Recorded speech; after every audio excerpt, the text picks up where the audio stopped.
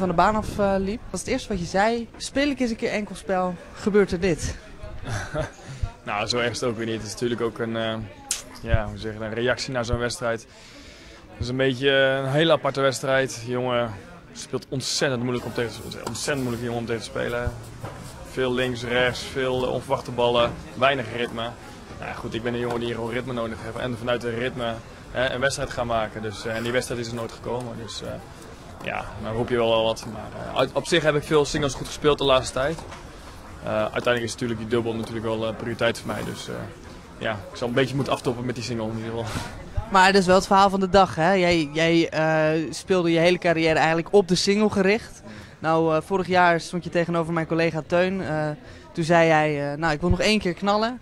En toen ben je op de dubbel gaan richten en nu sta je in de top 100 van de dubbel. Ja, het is echt vreselijk snel gegaan. Vorig jaar uh, had ik wat hier en daar wat toernooitjes gespeeld. Ik had Scheveningen gewonnen. Ik had, wat klein, ik had dit toernooi toevallig gewonnen in de dubbel. Wat kleine toernooi. En op een gegeven moment heb ik besloten in januari dit jaar van nou ja, laat ik maar gewoon uh, die dubbel gaan pakken, oppakken. En, en, en Wesley Koolhof, hè, mijn huidige dubbelpartner, die zei van joh, zou het gewoon proberen. En we beginnen in Marokko. En in Marokko beginnen we gelijk met een overwinning op twee top 100 spelers. En nog een, een goede overwinning. En dacht, laten we dat eens doorzetten.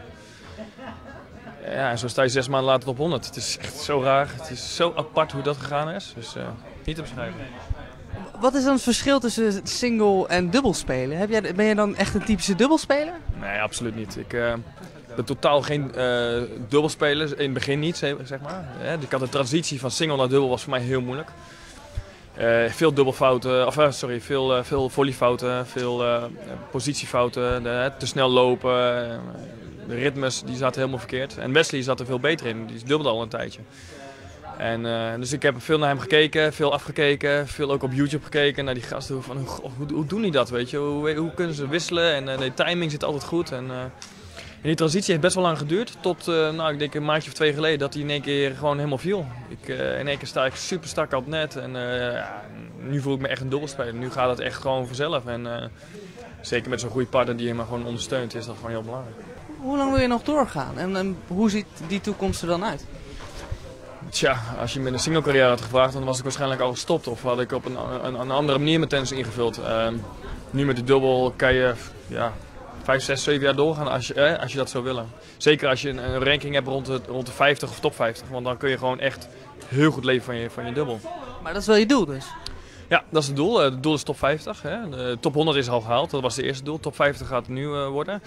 Uh, en proberen constant in die grote toernooien erin te zitten. Dus uh, Grand uh, Australië, US Open mogelijk, dat soort toernooien. En, en we zitten al wat regelmatig in ATP's. Dus dat is lekker. Hè. Daar verdien je ook wat meer, pak ik wat snelle punten. Nu staan we 85 en 86 respectievelijk. Dus we hebben nog een eindje te gaan. Maar zoals we nu gaan, gaat het wel lekker. En we hoeven niks te verdedigen tot februari. Dus dat betekent alle punten die erbij komen, die komen er ook bij. Er valt niks vanaf. En, dus één streep naar boven hoop ik. En, en je hebt het net over je single carrière al kort. Maar is dat niet gewoon verleden tijd dan nu? Nou nee, niet helemaal. Want ik vind die single gebruik ik nu als een soort training voor mijn dubbel. Hè? Dus elke keer als we die te, te grote toernooien spelen, probeer ik die single bij te doen om om mezelf een beetje te pijnigen, om mezelf een beetje te activeren. En, en, en, en via die single eigenlijk dubbel gewoon scherp te worden. Hè? Vroeger was het andersom, had ik dubbel nodig om die single scherp te worden. En nu, nu doe ik het precies andersom. En ik denk dat het wel heel belangrijk is dat ik, dat, ik dat blijf doen. Heel veel dubbelspelers, wat je ziet, gaan op een gegeven moment niet meer singelen. Of worden lui, of willen die confrontatie met hunzelf niet meer aan om zichzelf te pijnigen op een single tour. En, en ik blijf dat gewoon wel doen. En, en Wesley ook. Dus dat houdt je scherp, dat houdt je ook scherp tussen de oren. Ik denk dat heel belangrijk Maar prestaties hoeven we niet meer te verwachten op het enkelspel. Nou ja, kijk, ik zal niet de eerste zijn die via een dubbel in één keer een, een, een, een single carrière weer kan opstarten. Hè? De, zo, uh, bijvoorbeeld Stepanek heeft dat gedaan hè? en uh, nog wat jongens. Um, ik, ik, schrijf die single nooit af. Ik heb ook in de competities win ik heel veel single in, in het buitenland. Daar heb ik echt ontzettend veel gewonnen. Ik heb ook hier en daar wat gekwalificeerd in challenges. Dus ik, ik, ik win nog steeds te, tegen hele goede jongens. Uh, kijk, vandaag was gewoon een hele moeilijke wedstrijd. Ik heb, was ook niet echt voorbereid. Uh. Ja, drie, nummer 340 van de wereld ook, hè? Ja, maar goed, dat, dat zegt mij niet zo heel veel. Maar die jongen qua kwaliteit uh, heeft mij gewoon verslagen. Hij speelde een heel onberekenbaar spelletje. Heel, heel weinig ritme geven mij. En hij, hij speelde dat perfect uit. En ik moet zeggen, chapeau voor hem. Ik, bedoel, ik, ik, ik, ik, probeerde nog wel wat te doen, maar ik, ik was mijn niveau niet aan het halen. Maar hè, het was wel een wedstrijdje. Vorig jaar keken we naar dat item van RTV Rijnmond. En toen, toen dacht ik eigenlijk, ja, dit, dit, dit ziet eruit als het einde van iemands carrière. Van we gaan het nog één keer proberen.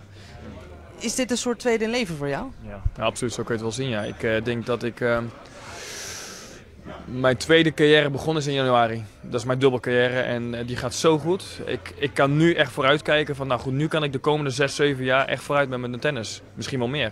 Misschien kan ik uh, misschien wel titels uitslepen, los van de challenge, misschien ATP-titel. Dat is leuk. Want nu, nu kan je echt gaan dromen waar je vroeger altijd van gedroomd hebt.